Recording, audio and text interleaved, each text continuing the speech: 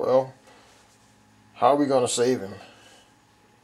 I mean, his heart's barely beating. I mean, it beeps one second. It waits about 10 before we get another heartbeat. How are we going to save the greatest fighter of all time? We don't know. But we're going to have to do something. His heart rate's picking up. This could be good. Come on, give us more. He's going to die. We got to save him. He's going to die unless we save him. I don't know what to do.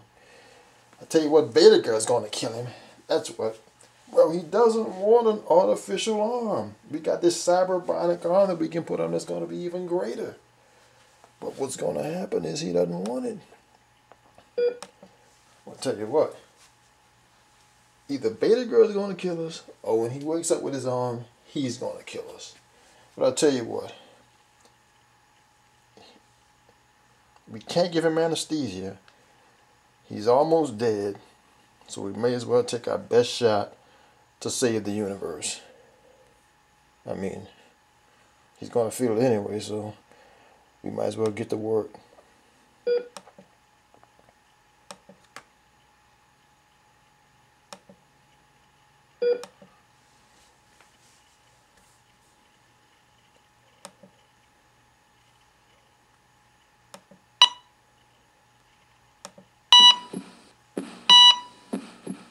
A minute. You starting to show signs of great. Oh, he's dying. Okay, stop. We got to do something quick. Mr. Lee's dying. What's going on? We don't know. What's happening?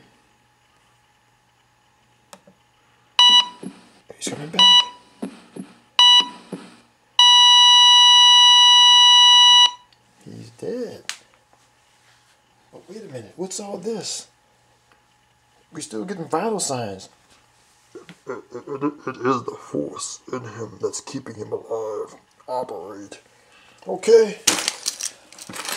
Let's cut this arm off. He can feel every bit of it. Ah, the pain. Ah. Ah. Three hours later.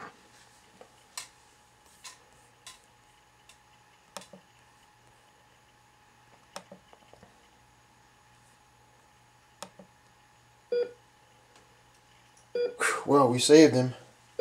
Heartbeats regular. Everything's normal. It all looks good. He won't wake up for a while. I'm going to go clean up. I think we did a good job. That arm's going to be really functional. I think Vader Girl better watch out. Because I think his force has been awakened. That's what I believe. His force has been awakened.